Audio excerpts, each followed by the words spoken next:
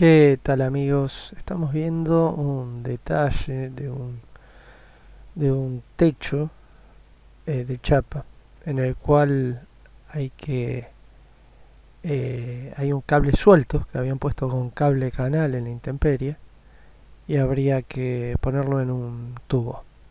La solución propuesta es simple, escaño en plástico con cajas, dos cajas, una para el cable que llega y va a haber que hacer un empalme o sacarlo de la caja más próxima. Em, pero dos cajas porque sale un caño de la pared donde habían puesto cable canal y vuelve a meterse otro caño de la pared. Entonces con la caja aprovechar cortar al ras bien el caño ponerle silicona amurarla y, y que sean cajas estancas.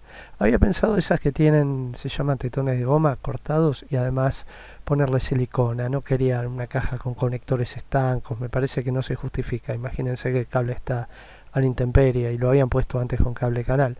Pero hay que tener en cuenta algo acá muy importante que es el techo, la resistencia al techo. Lo ideal sería poner un andamio, muy difícil ahí armar un andamio, sería muchísimo más caro proporcionalmente hacer eso que el trabajo, poner una tabla sino para distribuir el peso.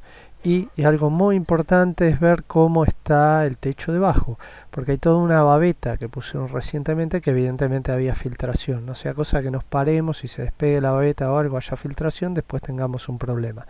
Por eso es muy importante ver bien un trabajo antes de decir que sí y hacerlo y poder tener otro tipo de problemas que puede pasar incluso hasta eh, revisando bien todo. Pero eh, por ejemplo subirse a ese techo sin ver bien cómo son las maderas que hay debajo eh, el tema este de esa babeta nueva que pusieron es poco complicado. No sé ustedes qué opinan espero sus comentarios y nos vemos en el próximo